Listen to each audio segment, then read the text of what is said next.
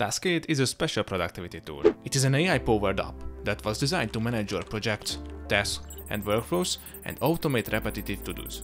In this Taskade tutorial, I will show its key features, my thoughts about pricing, my experiences, and ultimately how to implement it in your daily workflows. Let's dive in! Hey guys, it's good to have you here. Before we jump into this tutorial, I just wanted to let you know that I prepared a more detailed review article on Taskade that you can find in the description. Also, I included a link to Taskade in the comments and the description. So Taskade is a kind of lightweight project management app that helps you and your team to simplify your work life. The reason why I say that it is a lightweight project management app is that it is a relatively easy to use app but on the other side, it lacks some advanced project management features like time trackers. Let's click on the login and sign into your Taskade account. If you do not have any, you can click here and quickly create one. It will take you to this page where you can access your workspaces. In your workspace, you can create separate folders. Let's say I want to have a folder for creating my content plan for 2025. Just click here, add an emoji and name, choose a color and select who should access it. Taskade structure allows you to create separate folders for different teams, departments or use cases. Once you have the folder, it's time to create a new project. I will just create a project for my content plan for 2025. You can either choose a template, which is quite useful as you don't need to do the whole thing from scratch. On the left side, you will see all the templates from which you can choose. As you can see, there are a bunch of them and they are categorized into different types. Let's move forward with the Content Planner templates and I will choose the AI Carousel Content Planner. You just need to insert it in your workspace and that's it. Taskade implemented a task-based approach, so basically every object works like a task or a subtask. Press the tab and you can create infinite number of sublevels under your tasks. If you want to focus only one task at a time, hit the fold icon here and you can deal with that specific task. Once you finish the task, click on the checkbox and Taskade will update the progress bar above. Whenever you click on the plus icon, you can assign a task, add due dates, comments, timers, reactions or upload files. If you click on the three dots icon, you can easily customize, move it, apply text and mention others. Above, you will see the small icons which are the view options. You can display the project differently. This means that apart from the list view, you can use board, calendar, table, mind map, org chart and Gantt chart views. Just for your note, you can only access the Gantt charts if you have pay plans. Also, do not forget that these are only views and not different projects, so if you make a change in one view, the data will change in other views as well. I love that you can change the views dynamically with a single click. Taskade's AI Assistant feature works similarly to other AI assistants in productivity tools. It helps you to summarize, rewrite and transform content, you can use it for a whole project or you can just simply select different sections where you want to use the AI assistant. If you want to ask questions about the whole project, you can do it on the right side and you can even select what person and what tone the AI assistant should interact with you. Overall, I think the AI assistant works great in a tool like Taskade. It can make your processes, writing and brainstorming faster and more efficient. It helps you to structure and break down your projects, workflows and tasks without doing it manually. Nevertheless, in addition to the AI assistant feature, Taskade has so-called AI agents. Let's check those as well. In short, AI agents are specialized AI assistant to automate specific tasks. For example, there are AI agents for project management, research or content creation. You can tailor your AI agents to your specific needs by adding sources and giving them instructions. If you click on the new tab up there, you will find the option to create an AI agent. You can describe what your agent should do, or you can just select one of the listed agents. Let's deploy a content writer. Yeah, I'm fine with this description. Let's hit the arrow and wait until Taskade generates the AI agent. It takes around 30 seconds and after that you can start to customize it.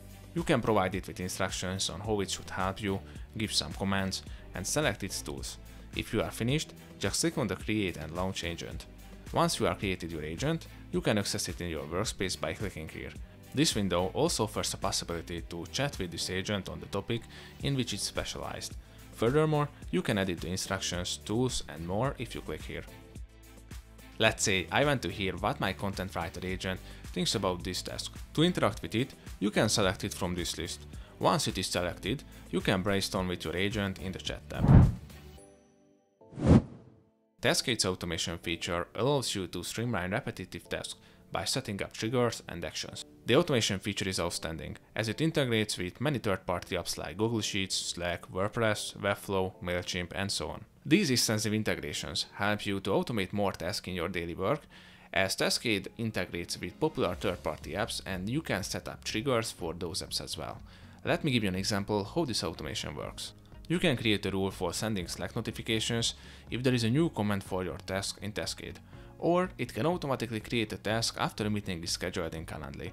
But these are the basics. If you click here, you can customize the rules of automation further, or you can completely start from scratch to put together the rules that fit your workflows perfectly. You can easily add and design your rules if you click here on the automation tab. Let's move on the note-taking capabilities. As you might have noticed, Taskade has quite limited note-taking capabilities. Compared to note-taking apps like Notion, Obsidian, Anytype or Xtiles, Taskade lacks advanced note-taking capabilities.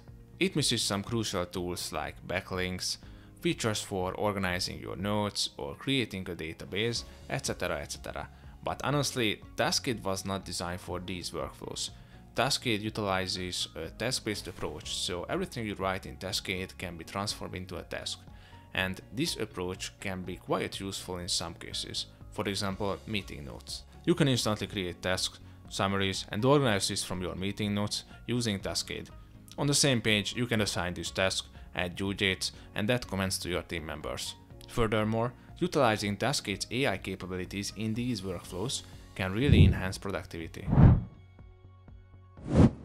Taskade is full of helpful collaboration features.